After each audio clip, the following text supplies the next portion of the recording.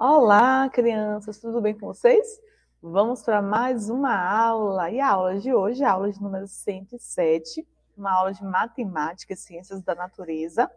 E o nome da nossa aula de hoje é Plantas Típicas do Nordeste. Né? Nós estamos falando sobre a região em que nós vivemos, né? a região em que Feira de Santana está localizada. A gente já viu é, na, na história de Chachado, a gente já viu a Pro já conversou com vocês sobre algumas, algumas características né, da região Nordeste, que tem um clima mais seco, que chove menos né, longo, no, durante o ano. E aí, por conta disso, né, a gente vai, vai conhecer um pouco, vai conversar um pouco sobre como é que as plantas né, é, que vivem aqui no Nordeste, como é que elas se adaptam a esse clima daqui do Nordeste, tá bom? E aí, no final, a prova vai fazer uma atividade envolvendo matemática com vocês, a gente vai fazer alguns cálculos envolvendo né, a, a, o, o conteúdo que a gente estudou hoje, combinado? Então, pega aí seu material para você participar da aula com a Pro, tá bom? Então, vamos lá. Então, a Pro colocou aqui já essa imagem aqui, cheia de plantinhas, né? Será que essas plantinhas aqui, elas fazem parte da região do Nordeste? Quais dessas plantas vocês costumam ver aqui nas casas, né, na, na, na nossa região? Tem alguma delas que vocês costumam ver? Né? Por ser, né, aqui a está regando, né, a imagem a está regando as plantas. Então, como é, é, em em lugares em que a gente pode, é, que são, que a gente chama de lugares privados, né, em que a gente pode regar, a gente pode molhar com frequência as plantas, é comum elas crescerem fortes, né, saudáveis. Mas, por exemplo, num lugar né, que não tem uma pessoa que esteja ali molhando, regando as plantas com frequência, já que a Pro disse que no Nordeste né, tem, tem épocas que chove muito pouco, né, tem épocas, épocas que chovem um pouquinho mais. Então, são plantas que ficam ali dependendo da chuva que ocorra naquela região. Né. Então, a gente vai ver que, que aqui no Nordeste tem alguns tipos de plantas né, que são muito mais resistentes à seca, né, à falta de chuva. Né? Então, vamos lá, olha só a, a caatinga, né, que é um, um bioma que está presente em quase todo o território do, do, da região Nordeste, né? É, ela faz parte, inclusive, da nossa região aqui de Feira de Santana, né? E o que é um bioma pro? O bioma é um, é um conjunto né, de elementos que fazem parte daquele lugar, de, de uma determinada região, né? É o grupo né, de, de elementos da vegetação, dos animais que vivem naquele lugar. Né? Então, quais são os, como é o bioma da Caatinga? Olha só, Pro colocou aqui a imagem, né? Então a gente vê um sol muito forte, as plantas bem secas, né? Com espinhos, a gente vê aqui o mandacaru. Né? Então são, são, é um bioma que tem essa característica, né? Então será que uma plantinha, essa plantinha que a Pro está vendo aqui, ó, essas plantinhas, né? será que elas conseguiriam sobreviver nessa, nessa, nesse bioma, né? Então, gente, vocês, quando vocês estiverem nas séries maiores, aí vocês vão ver que uma, as plantas elas dependem de um, de um ambiente né, favorável, ou seja, bem legal para que elas sobrevivam. Né? Então, uma planta que goste muito de água, que goste de sombra, ela não vai conseguir sobreviver aqui, ó, né, sem esses cuidados. Né? Então, é, o, o, bioma da caatinga, as plantas da caatinga, elas, so, elas sobrevivem, né? Elas aguentam firme ali a seca, né? É, aguentam, algumas delas armazenam água para conseguir passar pelo período aí de seca, o período de, de escassez de, de chuva, tá certo? Vocês já viram essa, esse bioma em algum lugar? Já passaram por, por algum, algum lugar que tenha essas características aqui? Tenham essas plantas que sejam dessa forma? Eu acredito que sim, que aqui perto de feira, aqui feira, né? Quando a gente vai nos, perto dos distritos, a gente encontra né, regiões, áreas que são tem, tem esse bioma, né? Olha só outra foto que a Pro trouxe. Quando a Pro, por exemplo, vai em Jaguara, né, a gente vê, é, é, a, a gente vê esse, essa, essa característica, né, esse, essa, essa, essa imagem a gente visualiza, né? Das árvores mais secas, né, a gente vê alguns cactos, alguns mandacarus, né, que são plantas que resistem mais à falta de água, né? Olha só como o chão é bem seco. E aí aqui quando a gente molha um pouquinho só de água, demora, né, para na verdade a, a terra é, seca novamente bem mais rápido. Por mais que a gente molhe aqui, demora bastante para ela ficar totalmente encharcada, né? Então precisa de um volume de, de chuva, um volume de água bem grande para essas plantas, né, voltarem a ficar mais verdinhas. E aí quando dá uma chuvinha, né, uma chuva, um período de chuva, elas voltam a, a ficar mais verdes, né? E aí a Pel trouxe algumas imagens de algumas plantas, né, que mesmo com essa com regiões que são bem secas, né, ainda tem algumas outras regiões do Nordeste que ainda florescem alguns, algumas árvores, né, em determinadas épocas do ano. Não é o ano, o ano todo que a gente vai ver essas plantas florescendo, tá bom? E aí essa planta você já viu em algum lugar?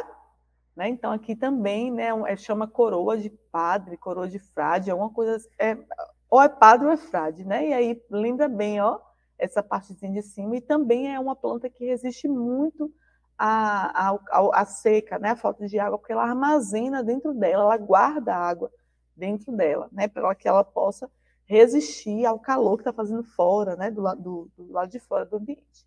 Então, as características das plantas, né, da caatinga daqui do Nordeste brasileiro, as plantas geralmente são têm cascas bem grossas, né? Elas também tem raízes que armazenam água, né, como a Pro falou, tem folhas pequenas, né? Então aqui, ó, deixa eu mostrar aqui essa imagem, né? Essa aqui tá bem seco, né? Aqui, por exemplo, tem folhas bem pequenas, né? As raízes armazenam água, tem, ó, outras características. Então, cascas grossas armazenam água, as folhas são pequenas tem espinhos, né? E o espinho é uma das características dessas plantas para ajudar nesse, nesse armazenamento de água, tá certo? E aí a Pro trouxe agora umas, algumas plantas para a gente ir conversando, né? Sobre as plantas típicas aqui da região do Nordeste. Então tem essa aqui, que é o faveleiro, né? Que não é tão comum da gente ver aqui em feira, né? A gente ouve pouco falar aqui em feira, mas ela é bem presente, por exemplo, lá em Tucano, Canudos, né? Inclusive o nome favela, né, vem desse dessa planta, né, faveleiro. É que lá quando teve uma guerra lá de Canudos, eles penduravam coisas, panos aqui, né, para dizer que a guerra tinha acabado. Então, é, é, o nome favela vem tem um pouco de origem dessa palavra, dessa planta, né, faveleiro. E olha só como as características que a Pro falou, né, da, da casca grossa das árvores, né? As, as folhas são pequenas, porque como elas guardam poucas águas, né? pouca água, então é, é, essa característica delas já tem a ver com o clima em que elas nascem. Né? Aqui é o ipê amarelo, né? olha só como ele é lindo. Né? Então, mas também ele nasce em regiões que tem pouca, é, não chove tanto, né? A gente também vê aqui as bromélias, que são essas verdinhas aqui, ó. Né? Olha só como elas florescem mesmo, né, na, na, as outras secas, ela ainda está aqui, ó, armazenando água, ela ainda está ali, sobrevivendo a esse ambiente tão seco, né? Os cactos, ó. E aí aqui a gente está vendo verdinho, né? Dá a impressão de que é, estava chovendo bastante, né? Mas é um fenômeno que acontece né? nessas áreas em que chove pouco, né? A, a, o mato fica verdinho, dá essa impressão que tá, choveu bastante, né? Mas na verdade aqui é só é um, um, um, é um verdinho, né? Que da, da planta, mas não não quer dizer que é, teve muita chuva, né? Só uma característica da planta que nasce nessa região. Ó. E aí a gente vê também as cascas grossas, ó, o espinho, né? E ela, o cacto também tem essa característica de armazenar água dentro daqui, tanto que é, é comum né, em algumas regiões do Nordeste as pessoas usarem para fa fazer a ração né, para os animais, para o gado, para que eles possam sobreviver durante a seca. Né? Porque como a pastagem está bem seca, então eles é, utilizam na fabricação da ração. Aqui a palma ó, é, é usada com frequência, também acumula água dentro dela. Né? Então a gente vê lá o fundo, ó, quase que não tem capim, né, pastagem, para os animais é, pastarem, mas aí o, os, os, agricultores, né, os cuidadores de animais, eles utilizam é, né, como uma medida assim, não tem mais o que dá para oferecer para o animal, eles preparam né, a, ração com esse tipo de pau. Essa aqui, ó, quem sabe que fruta é essa? Que pé de fruta é esse? Eita, que a Pro já gosta dessa fruta, bem azedinha, né? E aí A gente vê a folha, também folhas curtas, né? A casca também é bem grossinha, né? Olha só, é a cajazeira. O que será que é a cajazeira? Né? Dá, ela dá o acajá, né? Então aqui, ó, as frutinhas. Não dá durante o ano todo, né? Geralmente dá é, no, no, início do ano, né? Janeiro, fevereiro, né? Geralmente no início do ano é que dá essas frutas. E é uma delícia, né? Você gosta de cajá? Eu acho que você gosta, eu gosto muito. É azedinha. E essa aqui vocês conhecem, essa também não é muito conhecida aqui na região de Feira de Santana, mas é uma, uma, uma planta típica do Nordeste, né? Que é o marmeleiro, que produz o marmelo, né? É bem docinho, lembra um pouco o figo, né? E aqui está as frutas. Olha de novo as características da, da folha, olha como são. Não são folhas grandes, né? Folhas largas, são é, folhas mais estreitas, tá bom? Vamos ver outra. Essa aqui vocês conhecem, conseguem identificar só pela foto, tá longe, né? Vou colocar outra foto aqui da, do fruto que essa planta ela dá pra gente, ó. Que planta é essa? É o cajueiro, que dá o quê? O caju, né? Então, ó, que delícia o caju, né? Eita, que a gente chupa o caju e ainda come a castanha assada, né? Uma delícia. Vocês sabiam que tem um pé de caju lá em João Pessoa, que ele é enorme, ele é muito grande, gente. Ele fica dentro de um parque e ele, a, a gente, as pessoas entram para tirar fotos né, no, na, nas galhas dele, porque ele é tão grande que a gente não consegue ver a copa, que é essa parte daqui de cima da árvore. A gente tem uma visão mais das raízes, né, da, da, dos galhos dela, e é muito grande. Né? Olha aí, quem gosta de caju, a chega encheu a boca de água, né? Porque o caju é tão gostoso, suco, chupar o próprio caju, né? É bem gostoso. Olha a folha do caju. A folha do caju já é um pouco mais larga, né? Não é muito, mas já é um pouco mais larga. E é uma fruta que resiste, uma planta que resiste bastante, né, ao calor, ao, à, à temperatura aqui do Nordeste. E essa aqui você sabe, essa aqui você sabe, né, que é o mandacaru, e essa aqui é lá de trás, ó, é o umbuzeiro. O que é que o umbuzeiro dá? O umbu, né? Olha só, as folhas já são menorzinhas, né? Olha só, vem cá, fica carregada. Eita, que quando essas, é, essa planta aqui está carregada, né? As, as galhas chegam, descem.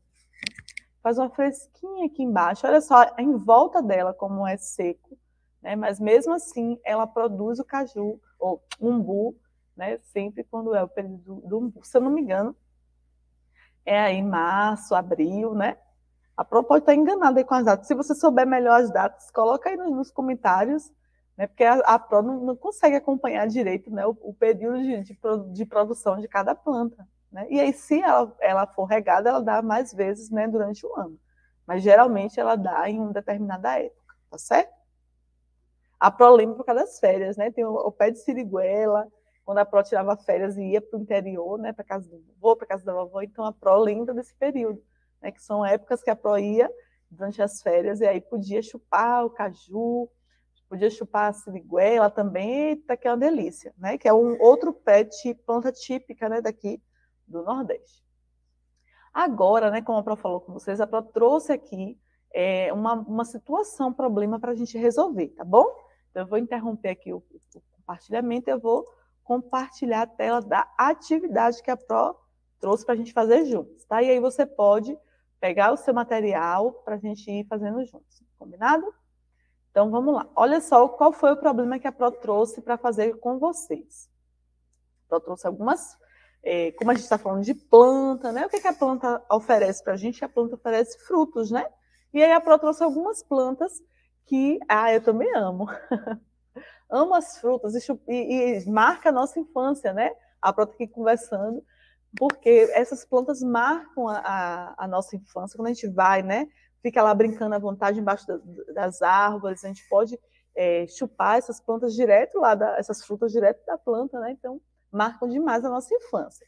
Então, a Pró preparou essas três cestas aqui ó, de frutas, que são frutas que a gente encontra com muita facilidade em nossa região, que é Feira de Santana. Então, a Pro trouxe aqui essa aqui, ó. Que lembra que fruta é essa? O caju, né? Deixa eu colocar o caju de volta aqui para nossa cesta. Essa aqui, ah, eu amo essa fruta. É a banana, né? A gente faz vitamina, dá para fazer bolo de banana. Essa aqui, ó, maior, que é uma delícia também. Tem gente que tem alergia, né? Mas é uma delícia também. Aqui na região de Itaberaba, né? Eita, que é o melhor abacaxi que tem. É bem docinho, né? O abacaxi. Deixa eu colocar aqui na minha cestinha. Cestinha 1. Então, olhem só as frutas que estão na cestinha 1. O caju, abacaxi e a banana. Então, nós temos três tipos de frutas em nossa cesta número 1. Vamos para a cesta número 2. Olha só, a Pro colocou de novo a banana, né? Na cesta número 2. E essa fruta aqui, que é uma delícia, quem sabe? A manga. Eita, que manga gostosa essa aqui tá, hein? A manga. E aqui é o limão. Eita, aqui o limão a gente faz suco, coloca na salada, né?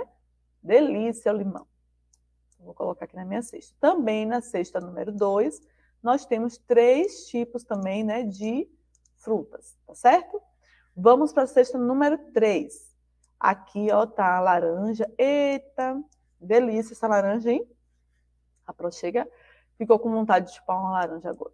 A laranja. Nós temos também, de novo, o limão e a banana, tá certo? Então, também nós temos quantos tipos de frutas na cesta, tipos de frutas na cesta 3? Três tipos, ó, a laranja, o limão e a banana, tá bom? Então, a Pro colocou aqui uma pergunta, ó, para gente pensar, né, para gente tentar responder juntos, né, o nosso problema. Quantas frutas há em cada cesta, né? Então, nós somos vendo, a gente, a gente foi vendo cada tipo de fruta e nós vimos que em cada cesta tem três tipos de frutas. Mas olha só a pergunta que a Pro fez quantas frutas há. Né? Então, não é quantos tipos de frutas há. Se fosse quantos tipos, a gente já tinha a resposta, que seriam três. Mas a prova quer saber quantas frutas né, há em cada cesta. Vamos lá? Vamos contar? Então, vamos lá. A prova vai pegar aqui a canetinha. Deixa eu ver se eu consigo riscar em cima da fruta. Consigo. Então, vamos lá. Vou botar vermelhinho, tá?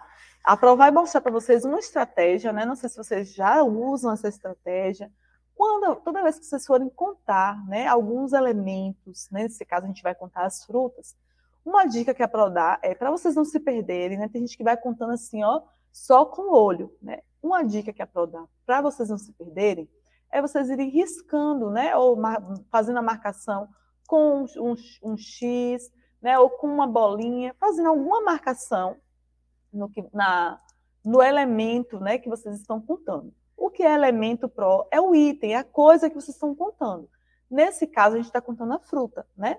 Se fosse, por exemplo, brinquedos, né? Vocês iam circular, vocês iam marcar o brinquedo, para vocês não se perderem na continha, tá certo?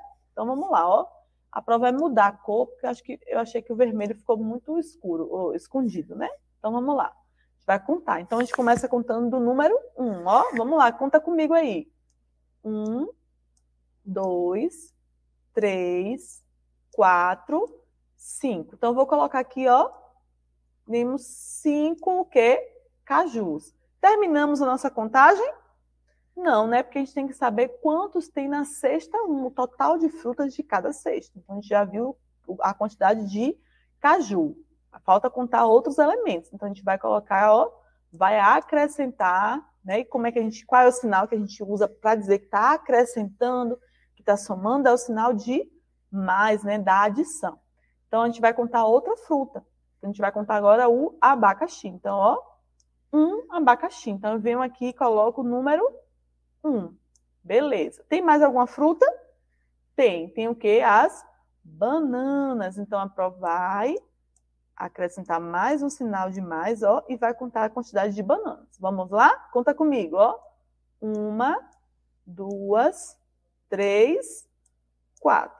Quatro bananas. Eu venho aqui e registro o número quatro. Agora eu vou somar, né, para ver qual é a quantidade, porque não tem mais nenhuma fruta, né? Então vamos lá contar. Como é que vocês podem fazer nessa contagem? Vocês podem juntar né, os dois números aqui, ó, juntar esse com esse, né? Você pode juntar, ó, esse, com esse, né? Vocês podem fazer de duas formas. A prova vai fazer das duas para vocês verem qual é a forma melhor. Vamos lá? Então primeiro a prova vai juntar esses dois, tá bom? 5 mais 1, que é igual a quanto? Você já tem 5. Lembra aquela estratégia que a Pro já ensinou? De guardar na mente o número que você já teve, ó? Então, já tenho 5. Mais 1, eu vou ter, ó, o número 6, né? 5 mais 1, 6. E agora eu vou juntar com o 4, ó, mais 4. Quanto é, quanto é 6 mais 4? Então, a prova não precisa contar novamente o número 6. Não, 1, 2, 3, não precisa. Eu já guardo o número 6, que eu já sei que é o que eu vou juntar. Né? Eu já tenho o número 6, agora eu vou juntar com mais 4. Então, vou pegar o número 6 e, ó, 6. Coloco 4, né, para a gente somar 6, 7, 8, 9, 10. Então, eu tenho o número 10. Tá bom? Agora, tem outra forma de você, de você fazer esse cálculo. A prova vai colocar aqui do ladinho, tá certo? Deixa eu colocar, acho que eu vou colocar aqui embaixo, é melhor. O 5 mais 1 mais 4. Então, aqui a gente so, começou a somar com 5 mais 1. Aqui eu já posso somar de outra forma, ó. Somando o 1 mais o 4. Eu já sei que 1 mais 4 é igual a quanto, ó? Tem um 1. Mais 4, ó, 5. Né? Então, vou repetir esse 5 mais e coloco o 5 aqui. Quanto é, ó? 5 mais 5 é igual a 10, tá certo? Olha só, a gente achou o mesmo resultado usando uma estratégia diferente, tá bom? Então, o que isso quer dizer? Que não tem uma, um jeito único de você calcular, tá bom? Vamos para a sexta 2? Vamos lá, ó. A gente vai começar contando por qual fruta?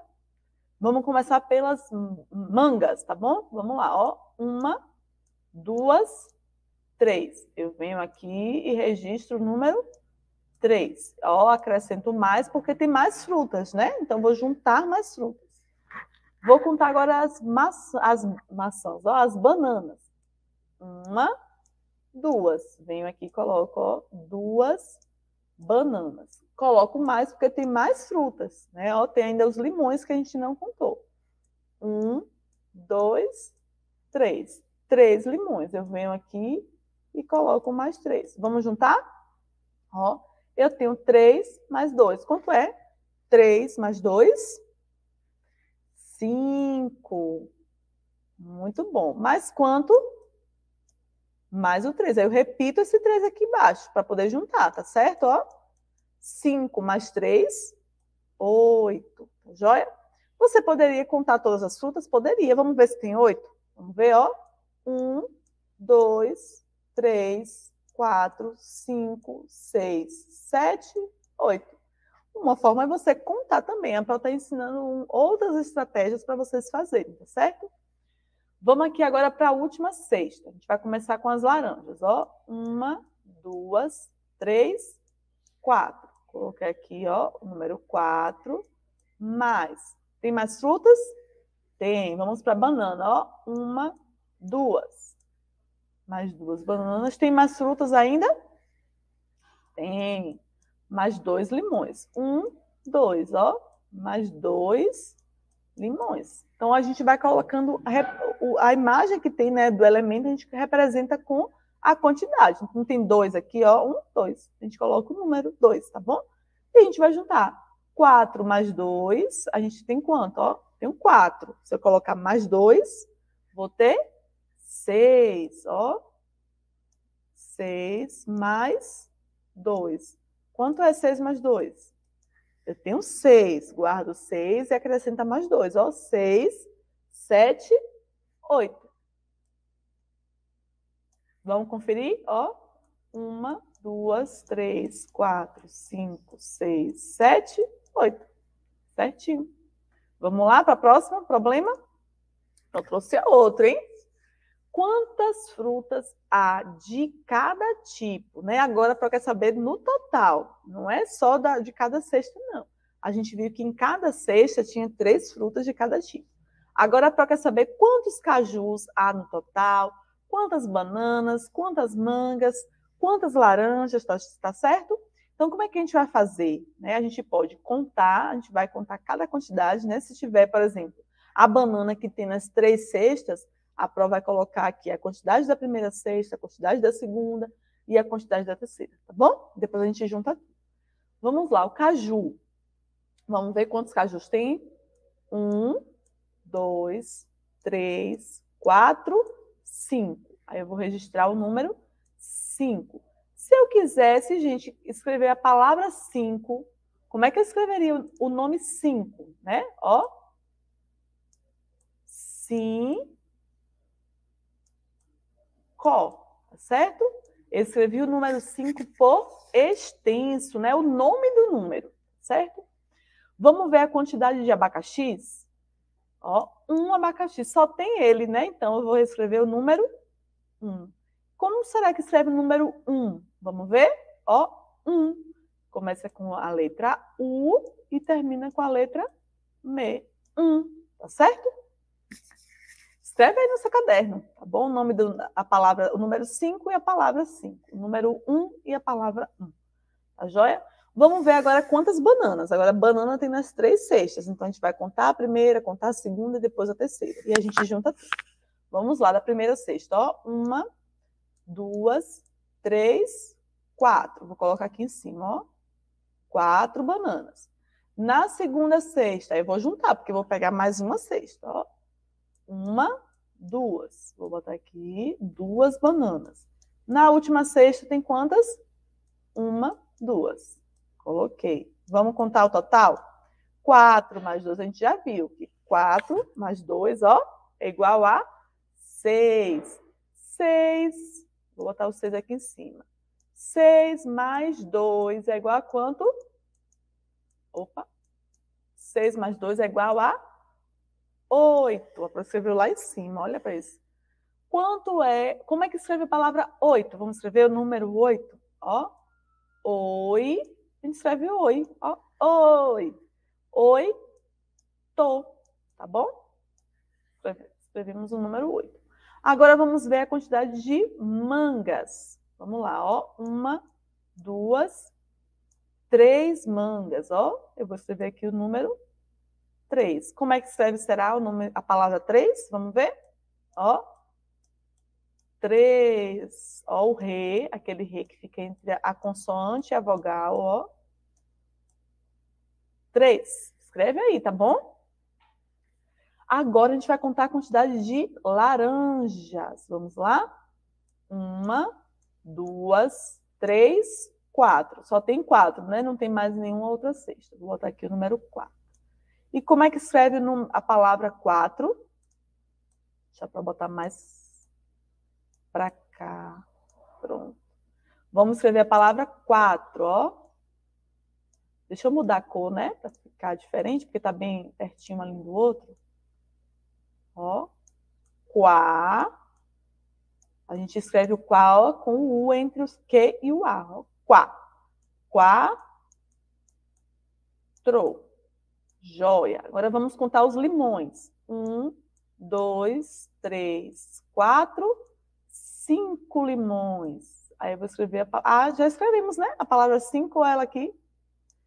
Cinco limões. Deixa eu ver. Ah, a Pro ainda fez uma, ó, quantas frutas há no total, né? Então, a Pro, a gente vai voltar aqui para esse slide, ó. A gente viu que no primeiro tinha 10 frutas, né? Então, já lembrou quanto tem cada um. Então, aqui tinha 10. Aqui tem uma, duas, três, quatro. Vamos riscar, né? Que a prova ensinou e não está fazendo. Uma, duas, três, quatro, cinco, seis, sete, oito. Oito nessa. Uma, duas, três, quatro, cinco, seis, sete, oito. Oito nessa. Vamos lembrar se tem dez aqui? Um, dois, três, quatro, cinco, 6, 7, 8, 9, 10. Tá certo. Então, a gente vai, já sabe quanto tem em cada cesta. Agora, a gente vai juntar a quantidade das três, tá bom? Então, a gente vai, vai fazer o seguinte, ó. A gente vai pegar o 10 mais a cesta 2, que tem 8, mais a cesta 3, que tem 8. Vamos lá? Então, o que, que a gente pode fazer? A gente pode deixar esse 10 aqui, ó, porque é mais fácil a gente juntar o 10, tá bom? Depois é para explicar isso. Então, a gente vai somar o 8 mais o 8. Quanto será que tem? Ó, eu tenho 8 já, guarda esse 8. 8 mais 1, 2, 3, 4, 5, 6, 7, 8. Vamos somar? 8, 9, 10, 11, 12, 13, 14, 15, 16. Eu venho aqui, repito 10, ó. Eu somei 8 mais 8, não foi? 10 mais 16. Então, no 16, ó, gente, quer dizer que eu tenho uma dezena mais o 6. Eu tenho 10 mais 6. Então, eu vou juntar esse 10 mais esse 10, que é igual a quanto? 10 mais 10 é igual a 20. Aí eu coloco as duas dezenas mais o 6. 26.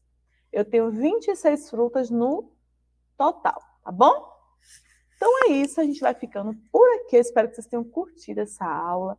Tentem aí refazer, se você estiver vendo no YouTube, tenta refazer os cálculos que a prof fez, tenta se aventurar e a fazer outras contagens, conta na, na cesta de frutas da sua casa, né? Tenta ver aí é, a quantidade de elementos que tem à sua volta, conta, conta quantos brinquedos tem, para você ir tentando né, se aventurar aí nos cálculos, tá bom? Então, nós nos vemos na próxima aula. Um beijão e até mais. Tchau, tchau.